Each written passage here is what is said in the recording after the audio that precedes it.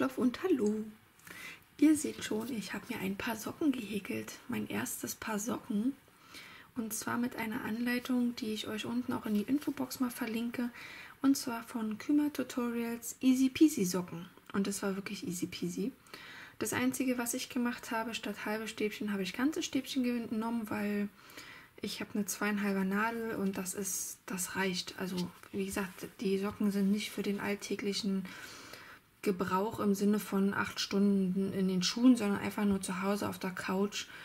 Und da kann das ruhig, es ist ziemlich dicht. Ja, und da ich ja so ein Stäbchen-Fan bin oder so geübt, sagen wir es mal so, mit den Stäbchen, habe ich das so gemacht hier. Sieht doch toll aus, oder? Das ist die Wolle, die ich euch vor kurz in einem anderen Video gezeigt habe. Von Sestrene Gräne und die war ja runtergesetzt. Da habe ich gedacht, ich häkel daraus gleich mal ein paar Socken. Sieht witzig aus. Hier unten macht es so so einen gebogenen Streifen und hier oben vermuschelt sich das wieder, weil, also hier sieht man schön die Aufstiegsmaschen. Also da, wo ich immer in jeder Etage. Aber das ist dann unten an der Sohle und hinten am Hacken. Das stört nicht. Und hier irgendwo Mal gucken, ob ich es jetzt finde. Ähm, da. Hier ist eine Zunahme. Ne, Quatsch. Da ist eine Zunahme, hier zwischen meinen Daumen. Denn da noch und da. Das sind die einzelnen drei Sachen, die sich da so ein bisschen, damit es schmaler wird für den Knöchel. Und ansonsten ist das wirklich runterrattern. Aber ich hätte nicht gedacht, dass Größe 39 so lange gebraucht. Ich bin froh, dass ich habe meinen Mann gefragt, ich sage, möchtest du auch so eine Socken haben? Und er meinte, nein. Und ich war irgendwie froh. Also ich hätte sie ihm gehäkelt, keine Frage. Aber ich habe gedacht, so, boah, Größe 44, das ist ja denn, nee. Also 39 war schon echt lang. Aber es ging trotzdem echt schnell. Ja. Die liegen jetzt, wie gesagt, hier schon auch ein paar Tage, weil ich noch was anderes angefangen habe. Und einfach nur Socken zeigen wäre jetzt doof gewesen. Ja, das sind die Socken. Da war übrigens auch noch ein kleiner Rest übrig. Und daraus habe ich, ich nehme das mal weg hier, einen Lappen gewebt. Ich habe so eine Art Webrahmen. Und da habe ich das einfach nur so... Das sind hier die, das Anfang und das Ende. Und hier auf der anderen Seite war genau hier irgendwo noch der Knoten, weil es waren ja zwei übrig und die habe ich dann zusammengeknotet. Ich dachte, so mal zum Ausprobieren, zum Tisch abwischen oder so. Ja. Und da mir die Wolle so gut gefallen hat und das auch sich gut hat häkeln lassen, sind wir nochmal in die Stadt gefahren und haben, oder ich habe, noch mehr Wolle gekauft. Weil es war ja nicht die einzigen, die runtergesetzt waren, da gab es noch ganz, ganz viele andere Farben. Und ich war froh, dass die noch welche hatten. Und da habe ich mir jetzt mal diverse Farben mitgenommen. Zum einen so ein Grün. Die sind jetzt alle Socken. Ich habe jetzt diese reduzierten Preise schon abgefummelt. Die kosten ja eigentlich 2,39 Euro. Und ich habe 98 Cent bezahlt. Und um ein paar warme Socken rauszubekommen, wunderbar. Ähm, hier gibt es auch, das sind nicht gerade Farbnummern, aber hier steht zum Beispiel Kombi 7 Green. Das heißt, man weiß dann auch, welche Farbe, weil es gibt nämlich ähnliche, zum Beispiel diese hier. Da seht ihr den Unterschied.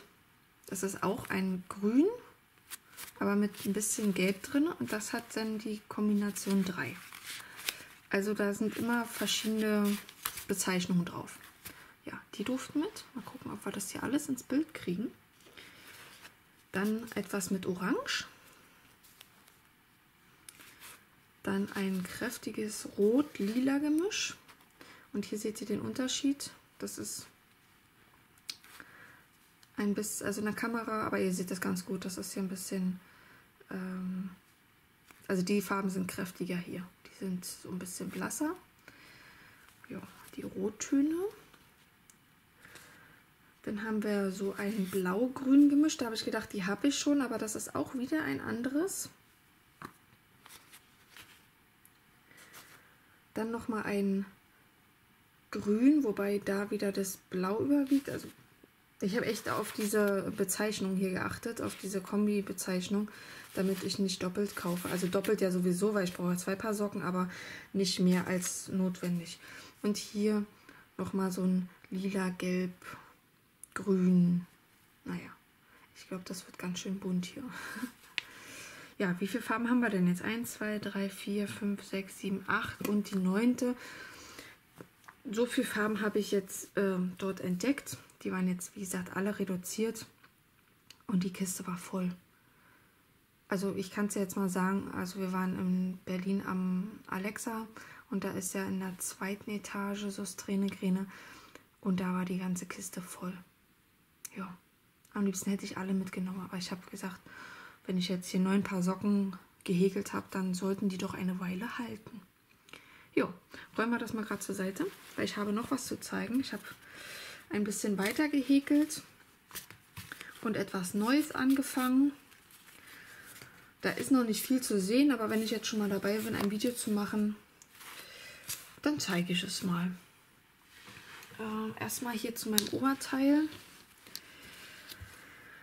Achso, äh, das war übrigens Häkelnadel 3,5, die ich jetzt verwende.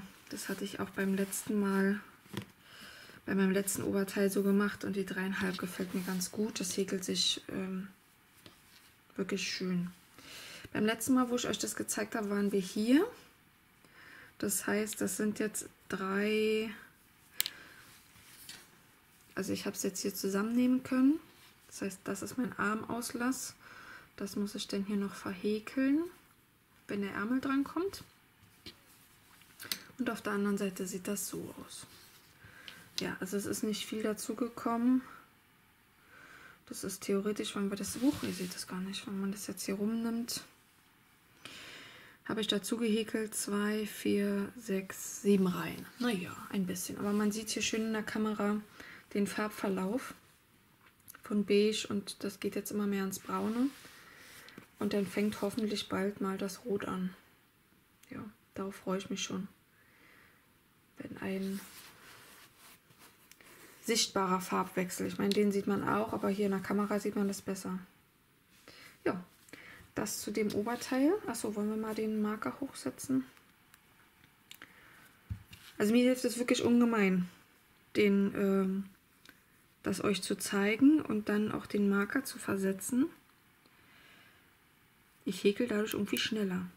Und ich gucke jetzt beim Häkeln auch immer so Podcasts von Strickern und Häklern und von euch Bastlern natürlich auch. Und äh, freue mich, wenn es dann immer längere Videos sind. Da habe ich dann auch gleich so einen Häkelanfall. Und dann schaue ich eure Videos und häkel dabei. Also wenn es jetzt natürlich eine Anleitung ist, wie ich, was weiß ich, ein, äh, ein Album zusammenbastel, dann macht das wenig Sinn, weil da muss man ja immer hingucken. Aber so, wenn einer quatscht und ab und zu nur was zeigt, dann ist das wunderbar. So, dann habe ich noch was angeschlagen. Und zwar ähm, ist das noch nicht viel. Das wird ein Schal ich habe mich mal für so ein Zickzack-Muster entschieden.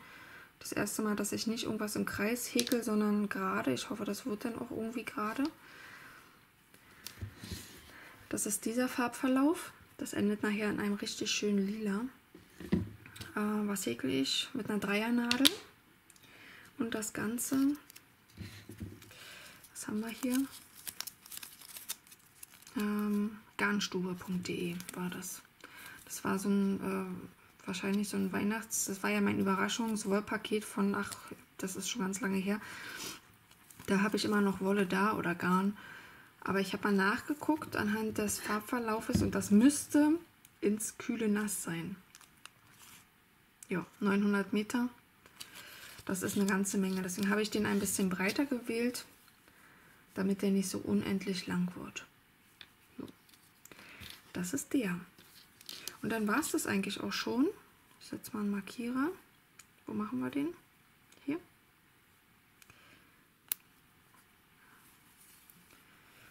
Ja, was ich zu zeigen habe. So, den Satz beenden.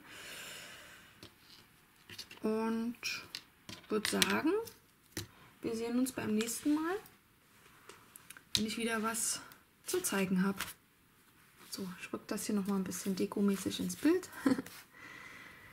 Ja, ich wünsche euch einen ganz schönen Tag, eine schöne Woche. Lasst euch das Wetter nicht so aufs Gemüt schlagen. Es ist ja irgendwie, also hier zumindest in Berlin ist das ein bisschen doof. Niesel, Piesel und kalt und nee, ist nicht schön. Schon so ein richtiges Herbstwetter. Naja, gut. Genug geschwatzt. Bis dahin. Tschüss.